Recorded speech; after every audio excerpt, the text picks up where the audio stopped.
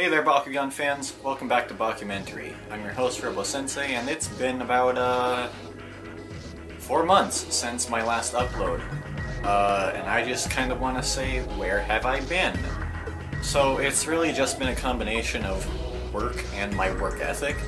Um, I'm a, I have an essential position. Uh, I work at an Amazon fulfillment center, so I, that's not going away anytime soon. Um, I'm also working overtime, and this is just piling on long days for most of the week, and I've just been using my days off to really just relax and use my personal time for myself, and not really haven't I haven't been focusing on my videos at all lately.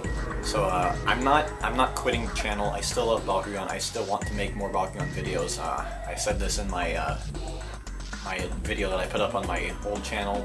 Yeah, this is sort of how I want to do my videos from now on. I want to actually be interacting, sort of, uh, just being direct with the viewers, not really just sitting there voicing over a PowerPoint.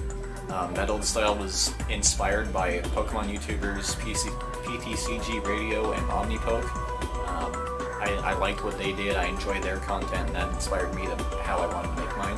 I might still use that sort of style for slides when I need them, um, otherwise, I want to be in front of a camera talking to you, or um, at my little studio uh, doing unboxings or deck profiles and stuff.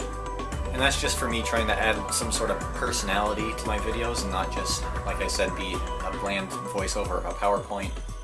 Um, I don't have any editing software.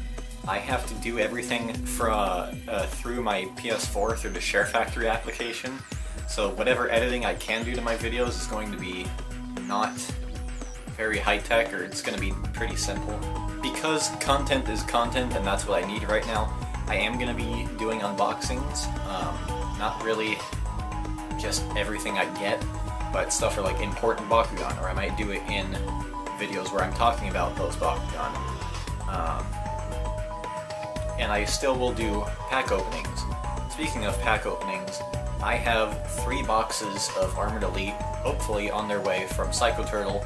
So shout out to those guys for being able to get product and hopefully being able to still manage orders and deliver a product. I have a lot of ideas for other scripted videos coming up in the future. Um, so thank you for just being patient with me, letting me take my time.